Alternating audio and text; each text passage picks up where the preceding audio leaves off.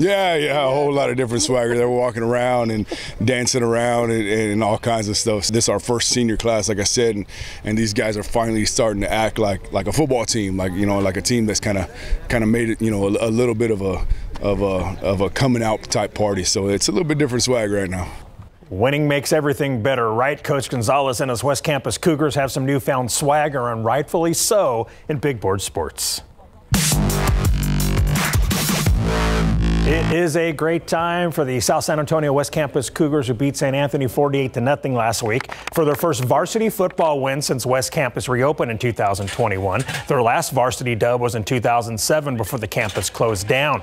Led by Coach Gonzalez, the Cougars are 1 and 1 this season and feeling much better about themselves. The Cougars play in District 15 3A Division 2 and still have two more games to go before they start district play. Now we stopped by Shepard Middle School yesterday with the Cougars practice to ask them about that winning feeling? Uh, I'm excited. We've been we've been working at it all off season, you know, getting in the weight room a lot. Uh, we've been focused way more lately, and and that just went towards the win mainly. It was wonderful to be able to come off that win. Just the only thing is how you give is to the Lord above. Um, he's been with us since day one, and just that win is it's amazing to be out here every single day just knowing that we got that win finally it's, it's been rough. You know year one we started in the middle of, of, of uh, covid 2020 and uh, you know we started with only freshmen. So uh, it's, it's been a big buildup. We faced a lot of adversity uh, throughout the four years here. Uh, and you know that's kind of been our, our identity uh, for four years just kind of playing with a, with a chip on our shoulders somebody that a team that faces a lot of adversity and, and gets through it and, and, and, sees the obstacle as the way. So so you know this this win has just been it's been huge for us to finally get this monkey off our back and, and finally see some success. West Campus will go for its second straight win tomorrow night when they host the 2-0 Lytle Pirates at 7 p.m. Here's the schedule for tonight. Brennan versus Harlan at Farris Stadium. Warren versus Holmes at the Gus. Both games kick at 7.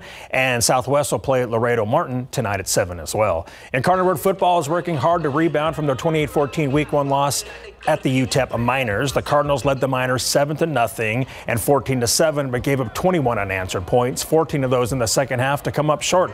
The Cardinals went toe to toe with UTEP, but they left some plays on the field, and that cost them the game you, got to run the football better. You got to stop the run, and then you got to score when you're inside your five. We had two opportunities inside the five, um, one a turnover on downs, and then another one as a turnover. Um, so those are those are points of the game that, that we have to correct. Now, when you look at the tape, there's a lot of positives. You know, we have a good football team, and we, you know, man for man, toe to toe. I thought we we were as good of a football team as those guys. We just have four or five plays that if if, if we execute and we do our job, it's it's a totally different ball game. We just got to execute. We left we left some stuff on the field, and, and you know we've went back and watched the film and, and, and corrected it and you know, we're going to have a great week of practice and come out and execute this Saturday. I mean, it was a lot closer game than it might have uh, felt like, but overall, we just didn't execute the way we wanted to. That's the thing. We prepared, but we weren't. We didn't execute it the way we needed to. So it's a growing process. You know, new team. That was the first time playing as a team, but it's excuses are out the window. We just got to play better. UIW will play at the University of Northern Colorado Saturday at 3 in the afternoon. All right, and we'll be watching. Yep. Thank you very much, Larry. So, uh, coming up, we're going to go front and center with the airmen who are trained to handle explosive threats. You're going to learn more about the G- JBSA Lackland Explosive Ordnance Disposal Team. It's a mouthful, but they do a lot. Stick around.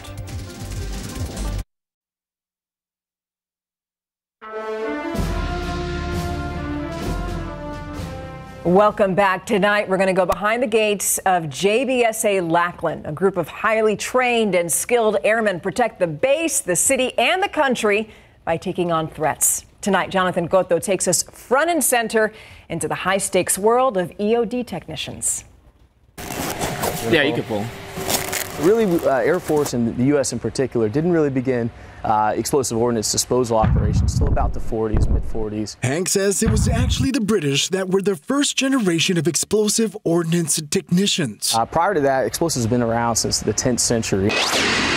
Technology quickly advancing and weaponry becoming more and more complex, the American Armed Forces understood the demand for EOD. They created this profession, uh, bomb disposal uh, technicians, and they basically were the guys charged with going out there and removing these fuses and making these bombs safe uh, to move and eventually dispose of.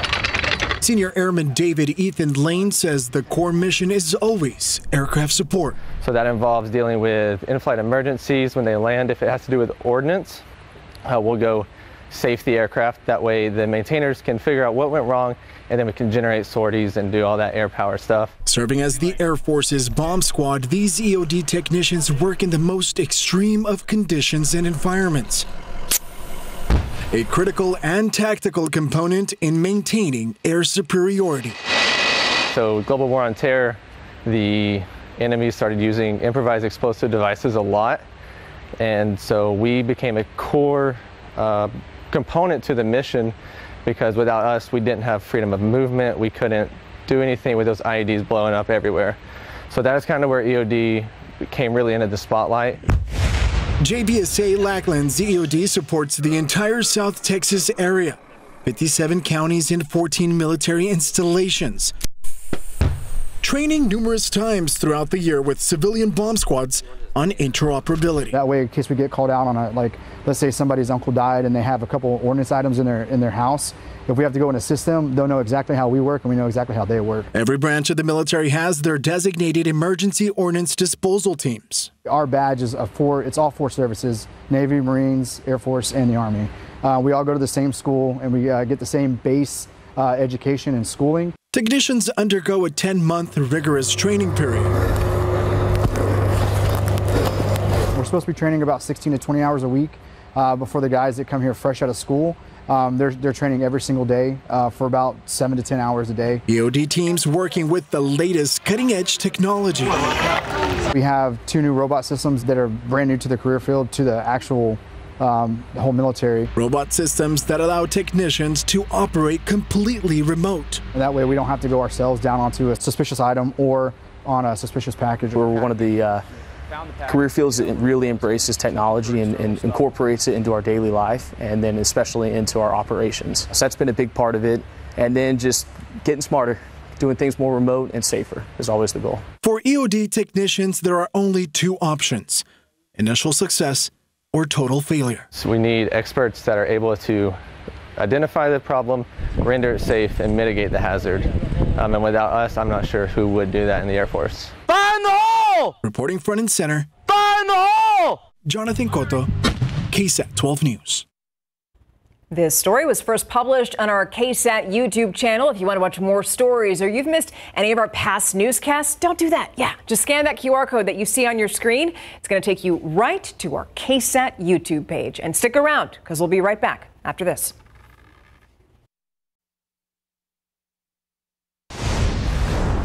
We're looking over into Hawaii because attorneys in that state are asking a judge to expand a lawsuit against the Hawaii, against Hawaiian Electric. That's the company that was accused of causing the devastating wildfire last month. The group wants the lawsuit to include Charter Communications and the telephone company Hawaiian Telecom, along with private and public landowners. The amended lawsuit also claims that some landholders were negligent for allowing, allowing highly flammable vegetation on their properties, which contributed to the rapid spread of that fire. We'll keep you posted on that lawsuit. Now, new applications for unemployment benefits actually dropped last week to 216,000. That's down 13,000 from last week's revised total, which shows the labor market is still pretty good.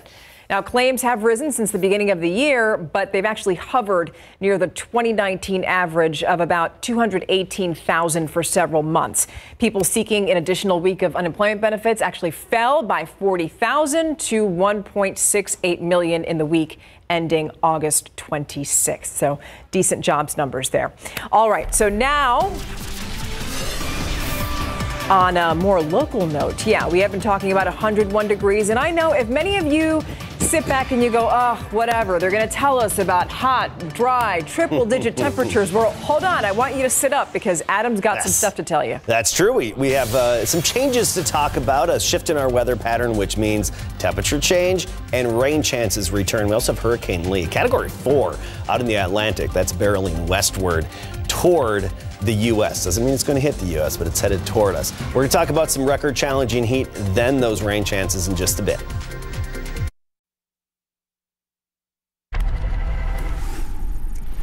San Antonio police arresting two people in connection with a kidnap with kidnapping a couple from their home yesterday. SAPD says that Xavier Martinez and Felipe Valdez barged into the couple's home on the southwest side and took them. The couple's now reunited with their kids, and police say they're looking for a third suspect.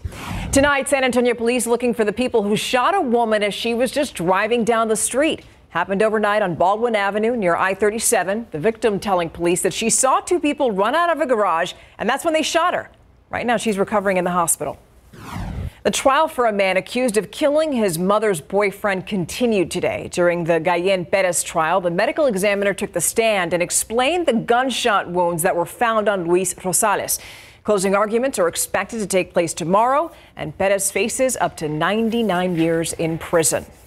Also, a man pleaded guilty in federal court today in connection to the death of a woman who died of a fentanyl poisoning. Patrick James Hall was sentenced to 30 years in prison for dealing fentanyl disguised as oxycodone that killed Isabella Render in 2020.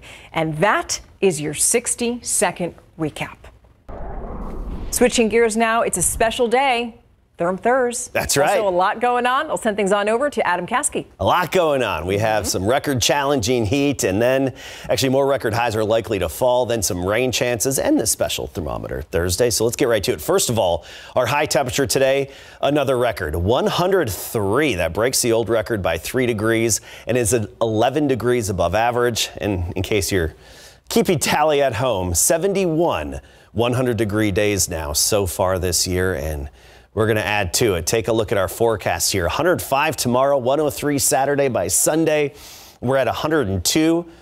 And then temperatures take a little dip downwards by next week. Upper 90s Monday, Tuesday, and potentially mid 90s by Wednesday and Thursday. By the way, record highs likely Friday, Saturday, and Sunday. We're expecting to actually break the records those days. So let's talk about the overall weather pattern. Near Albuquerque, New Mexico, Big Blue H, the upper level high. Still very close to us, has a firm grip on our weather. We want it to move away. And actually, it's going to. It's going to slowly be pushing its way westward.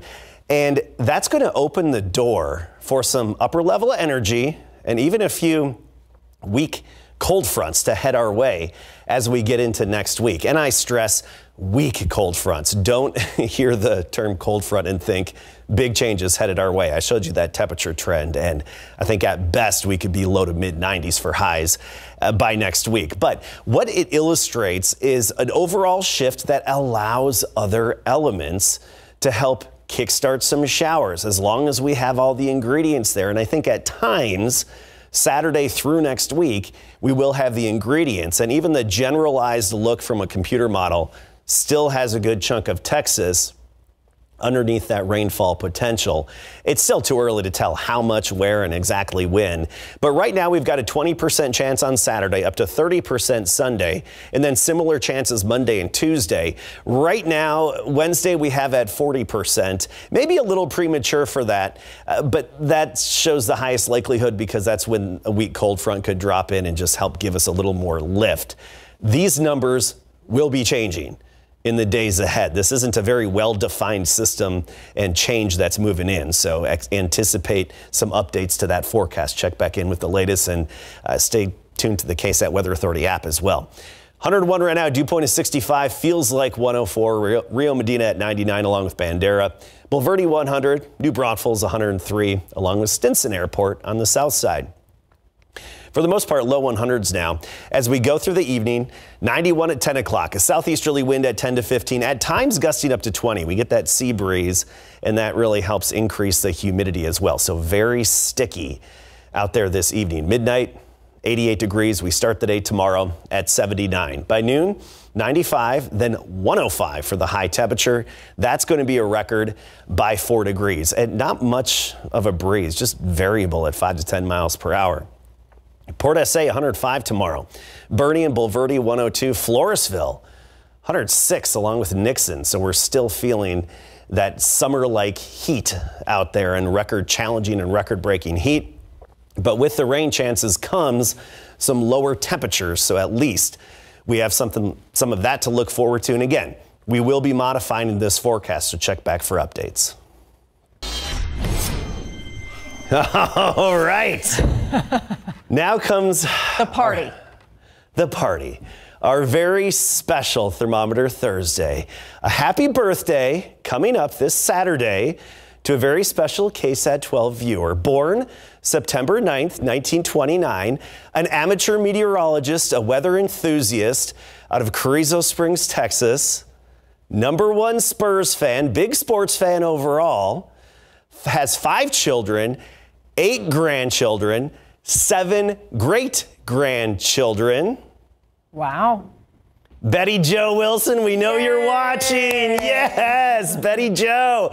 Happy birthday. Your daughter reached out, and this thermometer is yours for your birthday. Saturday in Seguin is the celebration. So I want to say happy birthday, 95 years. This is fantastic. And by the way, if you want to win a, a homemade thermometer, go to ksat, ksat.com slash thermometer. Okay, perfect. And you made that with your own Oh yeah, 100%. Betty Joe knows. She knows. She knows. As as as a fan. Yes, She knows. she knows. right. Thank you so Happy much. birthday, Betty. Happy birthday to you, Betty Joe Wilson. And we'll be right back after this.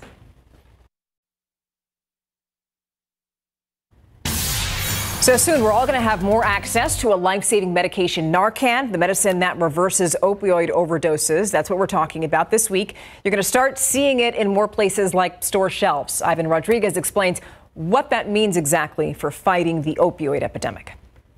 There have been more than a million drug overdose deaths in the U.S. since 1999.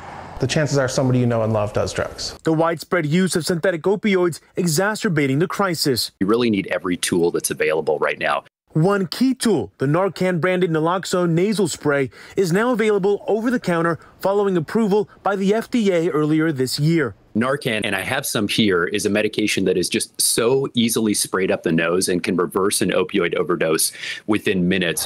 Dr. Scott Hadland says this can be the new avenue for families of young adults struggling with addiction.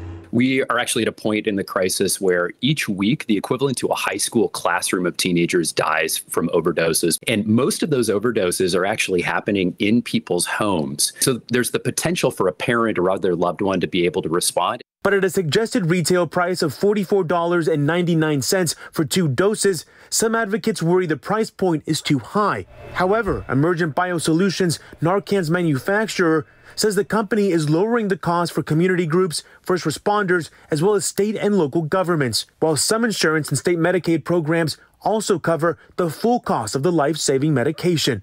Though not a solution to the opioid epidemic, advocates are hopeful this is a big step in the right direction. The more that we can do to normalize rescuing people who have experienced an overdose, the more we're going to help this crisis. In Atlanta, I'm Ivan Rodriguez. Streaming now. Um, we're about five to six hundred bucks a month on, on, water usage. Their water bill more than doubled from one month to the next after a pipe sprung a leak. We, we had a break. Uh, the ground movement happens all over San Antonio. A few weeks later, we get a bill in the mail for a million gallons of water, fifteen thousand five hundred eighty dollars. That's just ridiculous. They've been bullying us, intimidating us. Now SAWS says it's time to pay up or have the water shut off. KSAT investigates the water company's policies on outrageously high bills.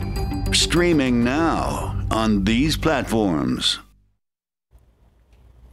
There's Hurricane Lee, Category 4, out, way out there in the Atlantic, but it is headed westward between a Cat 4, Cat 5 over the next several days, and by early next week between Bermuda and Puerto Rico. We'll keep you updated. Lastly, Betty Joe Wilson, just another happy yeah. birthday shout out to you, turning 95 on Saturday. Congrats on winning the homemade thermometer. Certainly deserves the shout out. You get as many as you want, probably 95, Betty Joe, for each year you've been. It'll be 95 at least, right? Thank you so much for joining us. Have a wonderful day, and we'll see you on the night beat tonight.